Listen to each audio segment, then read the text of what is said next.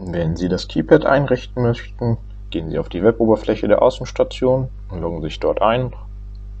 Anschließend gehen Sie in die lokalen Einstellungen, überprüfen, ob das Keypad richtig eingebunden wurde und gehen in die Zugangskontrolle. Dort in die Passwortverwaltung und drücken anschließend auf Hinzufügen. Nun können wir einen Namen vergeben, in unserem Fall Test und ein Passwort. Wir nehmen 1, 2, 3, 4, 5 und 6. Dies bestätigen wir mit Speichern.